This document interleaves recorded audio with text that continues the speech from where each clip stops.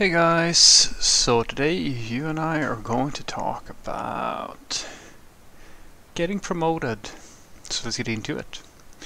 So the question in question was, Hi Fredrik, would you say that the best path to getting promoted to be is to be passionate about building stuff and looking for ways to make an impact rather than look at promotion as the end goal? Mm, it's hard to say because uh, usually the way sane promotions work is that you get promoted because you show an aptitude and there is a need for the role. Like you're you're clicking with whoever is in man management at the time. And so my suggestion would be that you think about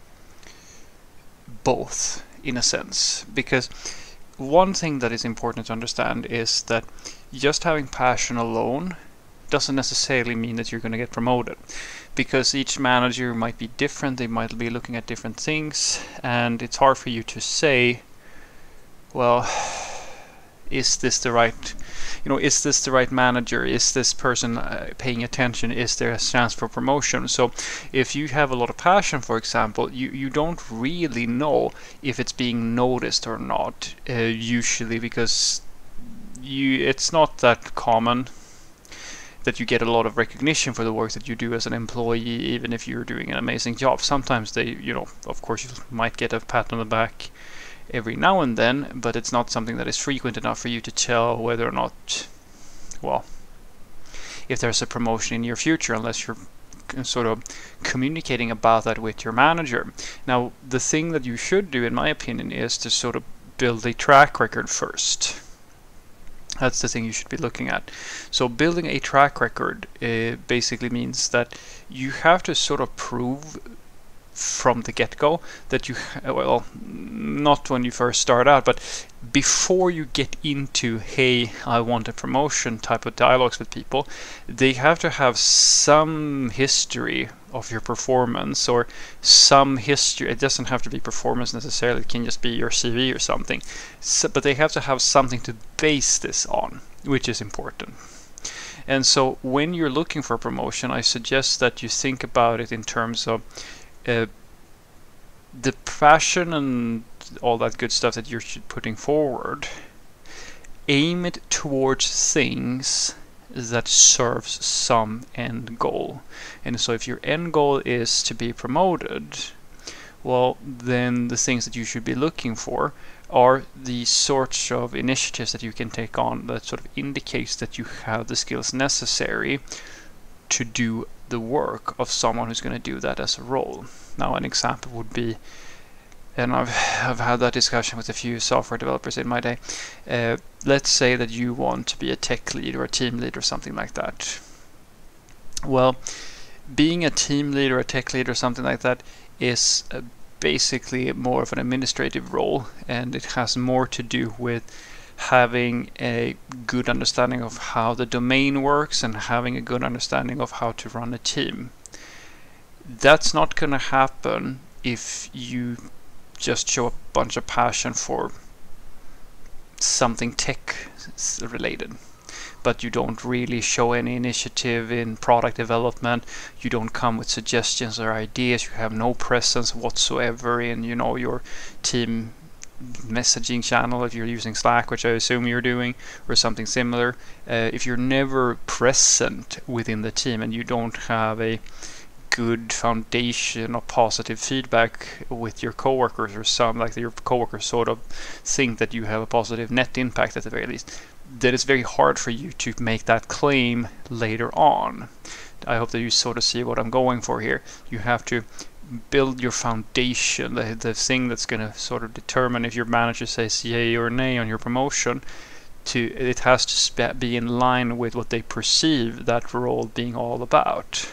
Now, for example, if you wanted to be a, an architect, that's going to be really hard for you to swing if you're a junior software developer who only works with, say, front end. That might be very difficult for you. But if you are a mid-level software developer and you have pro a proven track record of being involved in architectural discussions. You have a lot of uh, experience or you have a good foundation of skills related to say infrastructure. It does i mean architecture doesn't have to be you know it can be front end as well i'm just taking an example here. But you sort of have to build up that foundation on a different set of things than if you're going to be a tech lead or if you're going to be like a engineering manager, for example, because the roles have slightly different focuses. If you want to go all the way up to be, say, uh, well, not necessarily, well, technically an architect is pretty much the same thing, but if you're going to be like a principal engineer or like a, like a, what, they call me, a, uh, what is it, like it's the, staff engineer, which is another term, which is sort of an archetype of several different types, then it's a different set of skills that you might have to have. And you know, if you're going to be a site reliability engineer or something like that, and you want to get that promotion, it's also the sorts of things that gives you that um, a, a higher role, which you, in order to get it, you sort of have to um, establish that foundation. Now, with that said, some roles it doesn't really matter if you're passionate about the thing or not because it comes down to as i said the manager's trust in that you will be able to perform within this role. So in, as i was saying with the say if you're a junior software developer it doesn't really matter so much if you're super passionate about becoming say an architect or like the vp of engineering or something super super high up. You can communicate that to your manager. And if you have a good manager who like has some type of career plan for you or something like that, they might be able to help you set you set you up for things that will get you to closer to that goal. But being realistic is important here because you might not be able to just swing that right off the bat, right? So it's a hybrid between having passion for the right things, having the skills necessary, like you, the maturity as a technical expert, and having a communication, like a dialogue with your manager about being interested in that sort of work. You don't have to throw out things like I want to get promoted or things like that. You simply have to communicate that these are the, this is the sort of role you want to head towards. That's a nicer way of putting it. It's like I tell people who want to ask for a raise. In many cases, just saying I want more money might not be as graceful as saying that I would like to have this sort of role because the money comes with it unless as I said it really is a question of yeah you give me a higher salary or I'm, I'm kind of walking.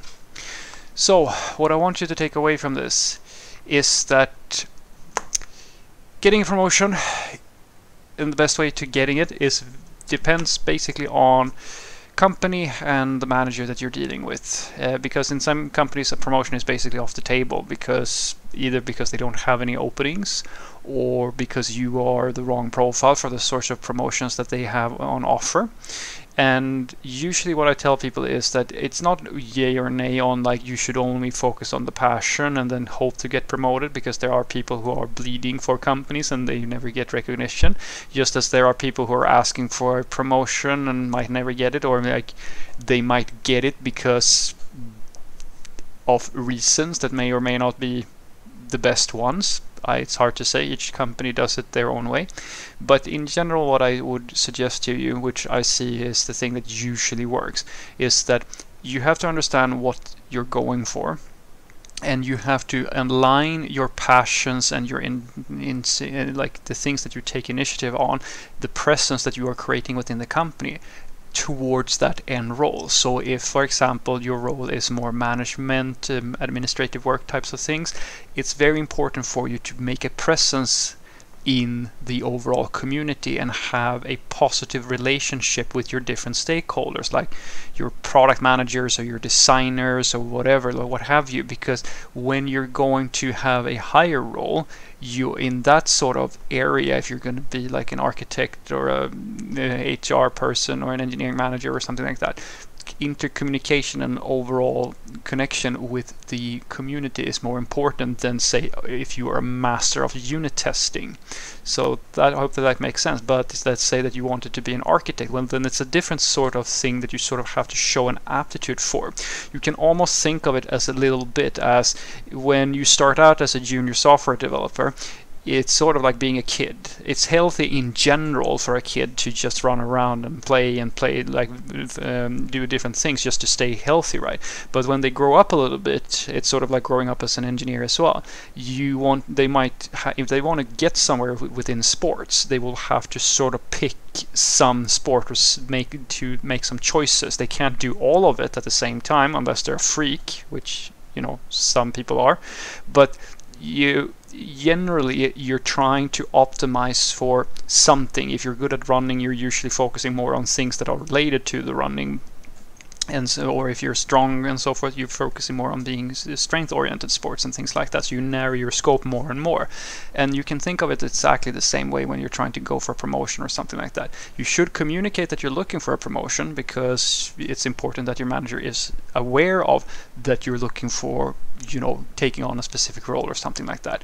But in order for them to feel comfortable doing that it's usually a good idea for you to have or already have a bit of a track record doing something that feels adjacent to that thing. So the leap isn't so big because as i said it's very difficult for a manager to say you know yeah let's take this person who just learned some basic I don't know HTTP stuff or some basic networking, and let's make them the like head of like this entire department. The leap is too big. You don't have enough of a track record proving that you can take on that sort of thing. So that's the way you should think about it. I suggest. Have a great day.